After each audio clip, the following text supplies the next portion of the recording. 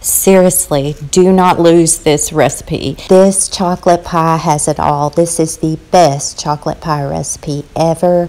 This is another potluck favorite that I wanted to share with you, so let's go ahead and get started on this. You can purchase pie crust or you can make your own homemade, but you need to go ahead and bake that. Now to make this yummy chocolate pie filling, you will need 2 thirds cup of flour, 2 thirds cup of cocoa,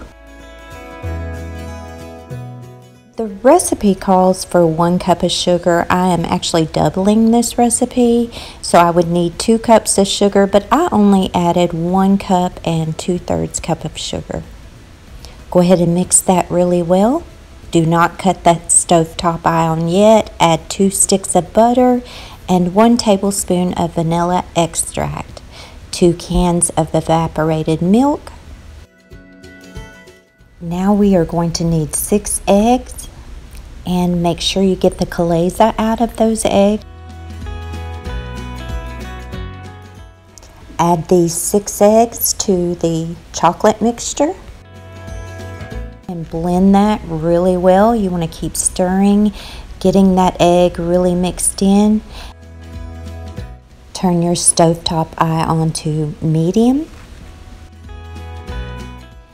and go ahead and stir and stir until you get that butter almost melted. Then you can actually leave this for a moment and clean up your mess that you've made in the kitchen. But do not leave this for very long. Come back and stir. This chocolate pie actually does take a little patience. And you're going to keep stirring and you're going to start seeing clumps like this. No worries, this chocolate pie turns out smooth and silky every time.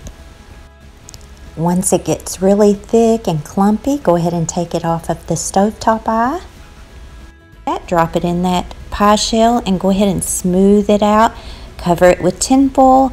I like to do this the day before and put it in the refrigerator. I get it out the next morning and top it with some whipped cream. I used two small tubs here of whipped cream. You can take a tablespoon and just fluff it up and make it look all nice and pretty. I actually don't make what I call cow slobber, the meringue. I like the whipped cream a lot better, but you do you.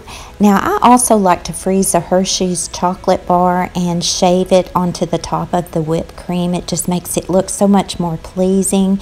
You can use a potato peeler for this or a very sharp knife and this pie is the best chocolate pie I've ever found.